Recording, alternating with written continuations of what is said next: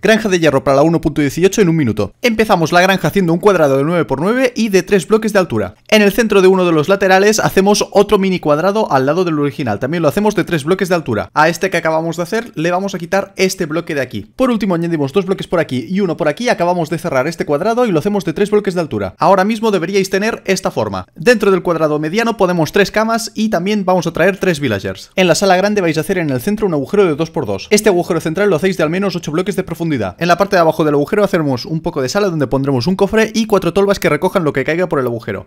Por encima de las tolvas ponemos cuatro carteles y un cubo de lava. Por último os hacéis unas escaleras para poder entrar y salir. Encima del agujero que acabamos de hacer vamos a poner cuatro puertas de valla abiertas. Ahora en cada una de las esquinas del agujero grande vamos a poner un cubo de agua. Finalmente ponemos todo de medios bloques por encima de los muros y tapamos el agujero pequeño. Dentro de este agujero tendréis que atraer un zombie y ponerle un name tag para que no despawnee. Finalmente ponéis medios bloques por alrededor de la granja con esta forma y la granja empezará a producir.